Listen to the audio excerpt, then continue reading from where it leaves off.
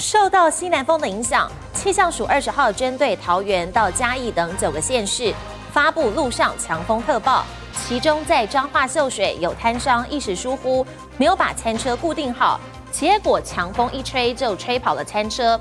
当时有其他摊位的老板发现，跑过去想要帮忙拉，但是已经来不及了，就这样子眼睁睁的看着无人餐车一路冲到对向的连锁通讯行，还波及到轿车。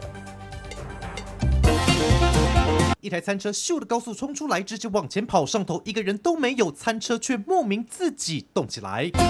餐车快跑，先是斜切跨越车道，一路冲向对面的连锁通讯行，最后是撞上停在通讯行前的一辆白色轿车才停下，过程全被民众的行车记录器拍了下来。就很大啊，因为伊大轻轻啊。啊，这台是你卖什么的？我冰啊，这里本来风就很大啦。风切吗？还是？应该是。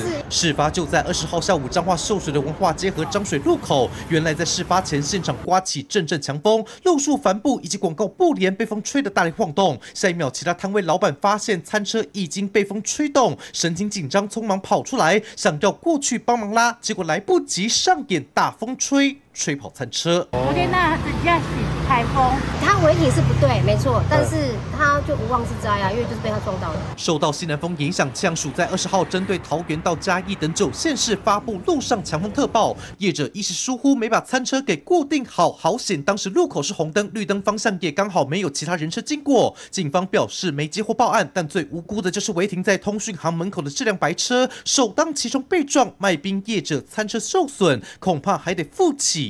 赔偿责任。接到我彰化参不到。